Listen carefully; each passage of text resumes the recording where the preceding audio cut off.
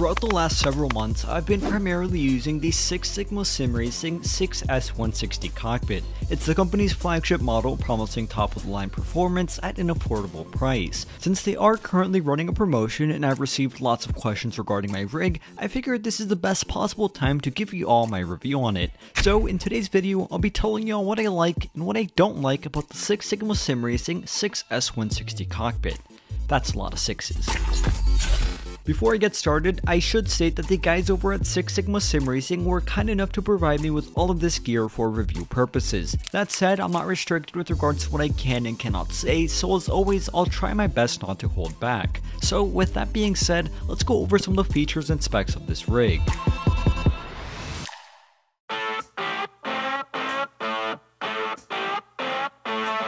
The 6S160 is an aluminum profile cockpit made from 40 series aluminum and despite it being the flagship model in Six Sigma's lineup, is quite discreet in design. The entire chassis has a matte black finish and has little to no hints of color or branding. In fact, all of the Six Sigma logos seen on my chassis are stickers which I decided to add on. What this means is that the 6S160 is very stealthy and low-key in appearance. It's not trying to scream, look at me, I'm a gamer, rather it tries to remain subtle and tame. Now, at the complete opposite side of the spectrum, the premium version of the 6S160 is anything but subtle. This version is custom made per order and is essentially a 6S160 but with a completely custom livery. I don't have that version, but I think it's cool so I figured I'd bring it up. Continuing on, the 6S160 is offered with a variety of wheel decks like this front mount option or a more generic bottom mount version among many others. As for the seats, two are currently offered. One is a recline seat with lots of subtle accents and the other is a GTR bucket seat with a fiberglass shell. I've been able to use both of them and I'm happy to report that they are both very comfortable. The bucket seat, although did get a little hot in those more intense race sessions, kept me snug and with significant padding on both the seat and backrest adjusted to my body nicely. With this one, you lose the adjustable backrest capability of the recline seat, but in return get a sturdier seat that won't move during heavy braking. On the other hand, the recline seat gives you that added adjustability and comfort and looks impressive as well. As per the dimensions, this chassis is significant in size. According to my calculations, this chassis measures 138 centimeters or 4 foot 5 inches in length, just under 58 centimeters or about 2 feet in width, and 78 centimeters or 2 foot 5 inches in height. Optional accessories are compatible with this cockpit, of which I'll mention a few notable ones now. With my 6S160 rig, I've chosen to go with what I believe are the most essential accessories. This includes a keyboard tray which attaches onto either side of the rig, a mouse tray, and a shifter mount. Other notable accessories include caster wheels, monitor mounts, and even floor plates, all of which you can find out more about on their website. Other than the mismatched color of the swivel used on the keyboard tray, I don't have any complaints. I enjoy having it and along with the mouse tray on my right hand side, I find them to be absolutely essential. Something that isn't always essential to have is the shifter mount, which is why Six Sigma Sim Racing chooses to offer it separately rather than including it with everything else. While originally I thought this was weird, it makes sense considering a lot of people simply don't have a need for a shifter or handbrake mount and won't want to pay extra for it. Now the shifter mount, regardless of whether you choose to go with it or not, I found it to do an excellent job. It has been compatible with every handbrake and shifter I own and has remained sturdy.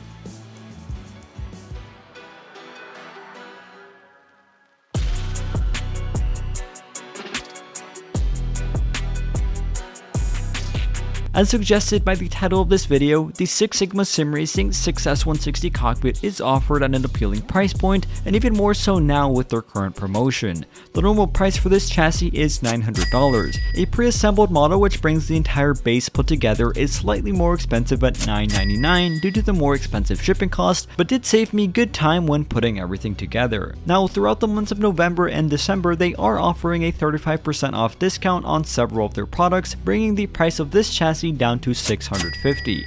I should also mention that they offer free shipping to North America which is a positive as well. Now unfortunately you will need to purchase the seat separately. Though you can find a third party seat to attach and use along with this chassis, Six Sigma offers a recline seat for $300 which is currently promoted down to 240 and the bucket seat for 350 which is currently offered at 280. I usually don't like to announce promotions within my videos as they are temporary, but it is worth mentioning here considering the holiday shopping season and the significant discount. Obviously, more information regarding their pricing and current discounts can be found on their website if you care to know more. And with that said, it's finally time to speak about what I have and have not liked about this cockpit.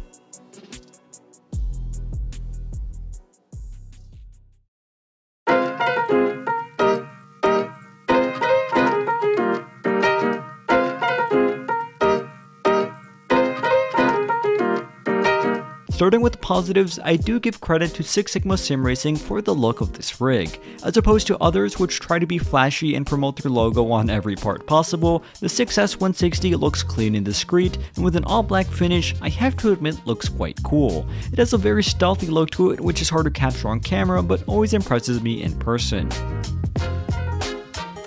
The model I received came with the 4160 base of the chassis already pre-installed, which saved a good amount of time putting everything together. This is an extra option which will cost you around $100, which is significant, but I do have to admit that it saved me some time in the build process. The finish and overall quality of the aluminum extrusion parts are also a big plus. I did find them to hold onto fingerprints easily, but other than that, it looks and feels of high quality and very minimal scratches or imperfections were found on the aluminum extrusion parts.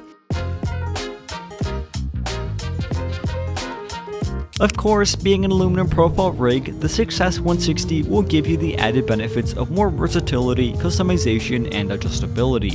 This will give you the freedom to easily attach anything from wind simulators to button boxes, which is of course a big plus. Also, Six Sigma Sim Racing offers a great variety of accessories, many of which I've found to be essential. The keyboard tray sits off to the side and can be easily moved in and out of place. The mouse tray took less than a minute to install, and the shifter mount has been compatible with everything I've tried with it, which is a lot and has no movement or flex in it whatsoever.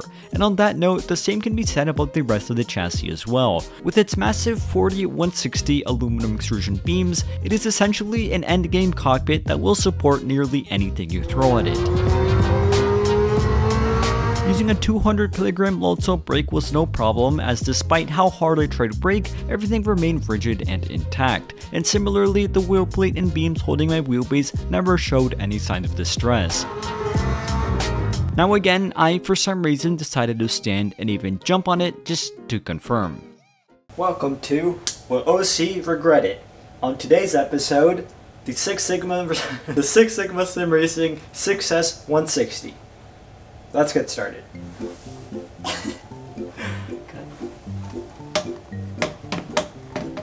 Okay, the seat is holding me up well. Oh god, how do I do this without dying? Whoa. Okay. Here I am with no hands. I think it passes the test. Now, what if I jump on everything else?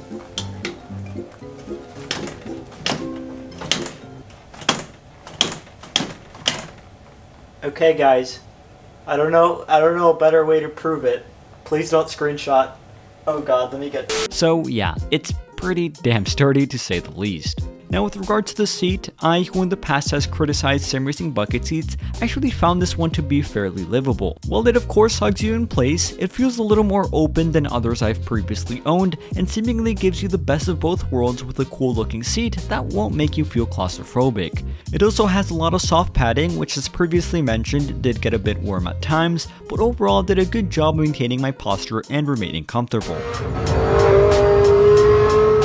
As you've probably noticed by now, it also has the Six Sigma Sim Racing logos neatly embroidered on the headrest, which looks quite nice as well. Finally, the entire seat is attached onto seat rails, which will give you that ease of adjustability. When braking very hard, the seat does seem to slightly tilt back, but I didn't really notice it, nor did it impact my in-game performance. I suppose this is due to the fiberglass shell, which doesn't add much reinforcement, and the fact that it's bolted onto seat rails rather than to the chassis itself. The flex isn't ideal, but again, it personally personally did not impact me at all. If you're interested in hearing my thoughts on the recline seat, which is the other seat currently offered, feel free to check out my review on the Six Sigma Sim Racing 6S80. Overall though, I've had a pleasant experience with both seats and I do think they hold up well to the competition.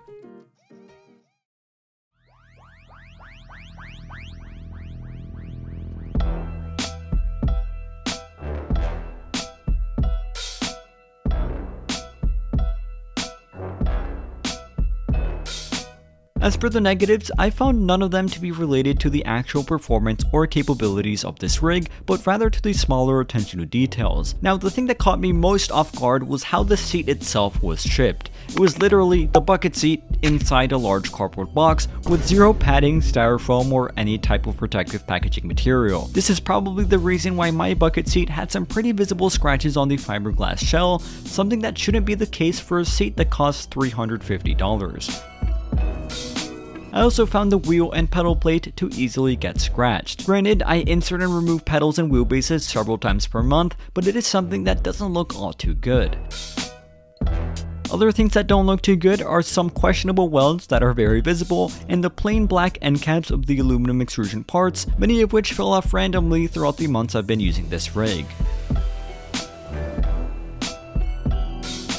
My final complaint is the same as what I said in my review on the 6S80 cockpit, and that is that the Six Sigma sim racing product pages and website need to be reworked. It currently doesn't give a lot of details about the product, it's using photos that are not one-to-one -to, -one to what you receive, and in general, it just doesn't inspire confidence when spending hundreds of dollars on a product. Other companies have much more developed product pages with close-up shots, videos, assembly guides, and so many more details heavily outlining the rig, something which Six Sigma's website currently doesn't do. I think that with a professionally made website, consumers will get a lot more information with regards to what Six Sigma offers and the features and specifications of their products. As a result, potential customers will be a lot more confident when going through the purchase. Now in conclusion, I've been happy with my Six Sigma Sim Racing 6S160 cockpit. It gives me the peace of mind in knowing I will likely never be in need of an upgrade as this will handle even the most demanding gear, and with a comfortable seat, useful accessories, and minimalist styling, it does a great job while staying tamed.